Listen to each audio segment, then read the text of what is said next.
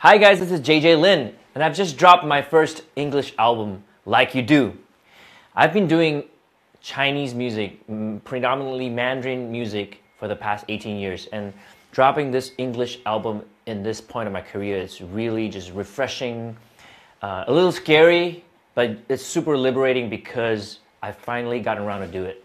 Born and raised in Singapore, English is my first language and uh, it's been inherent in me. I feel I've always expressed differently in English. I really would want to like communicate with my fans and share music, share life on a deeper level one day.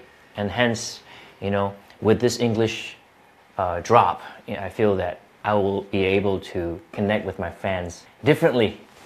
It's kind of like a restart, you know. I, I tell myself to see JJ Lin from a different parallel universe and imagine JJ Lin were to start out the debut. Uh, what would that music sound like? What would the other JJ Lin in the parallel universe be writing about? I'm really happy that you know through, throughout this journey, I'm able to meet new friends and really start writing about the inner JJ Lin, the subconscious, you know, the reflections in life and the regrets in life, and even using that to start like a journey of self healing. I've been used to writing songs myself in my, my own room, my studio for the longest time, but this time we are able to come together as a group, you know, as a new new group, and uh, just do songwriting sessions from from from scratch. The challenges uh, making this EP was uh, the, the question marks, you know, the mysterious zones, because I've never been able to like really sing fully in English and, and reach out to a totally different audience. But I tell myself, you know, it's my debut, I'm a new artist, you know, I'm starting from scratch. So any comment, it's a plus for me. It's, it's, a, it's, it's something that I'm, I have to go through and face. It's a new me. Whatever works and everything will be helpful in my new growth. What I enjoyed most about this whole process was I, I was able to travel the world, meet new friends, and enjoy the best food in the world.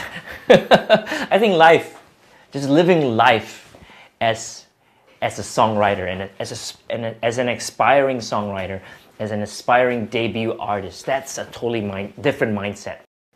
The visuals for the album were pretty different because, uh, you know, I was playing the music in the background when we were doing our photo shoots and we were, we were traveling because I would see myself wearing like super uh, elegant suits. we'll be on the farm taking the pictures or we, would be, you know, on the mud in, in, a, in a full, full suit. And then the, the, the other extreme would be I would be wearing super bright and stage clothing, but we were, we were on a street. We were trying to convey it's like traveling between universes where, where this alter ego comes to our world and feels like, hey, it's familiar, but it's still different. And then we will go over to the other world and we'll feel like, you know, we're an alien in the other world, but somehow it's still, there are still elements that, that we were familiar with. So transition between parallel universes, that's what we were trying to capture. Working with Steve Aoki was a whole new experience because uh, I've always wanted to work with a DJ, but you know, Steve, he's such a fun guy to be around. You know, he's such an energetic uh, personality, and I'm really happy that we, we are able to you know work together on this remix version of Not Tonight because he totally just changed it around and he just totally just put his his signature style and his sound on it and really just pumped it up. You know, I can't wait to do this live with Steve. Working with Anne Marie, I feel is is so romantic in a way because we haven't really met, you know, face to face.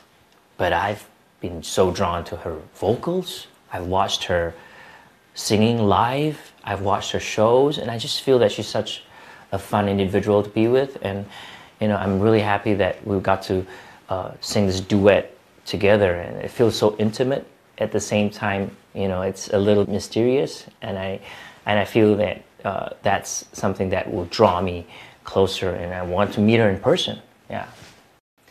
Well, I hope you guys enjoy my first English EP like you do, because I truly enjoy it from the making of it, the whole process of it, to sharing it with you guys. What's your favorite track? Let me know, because I don't know it myself. I like all the tracks.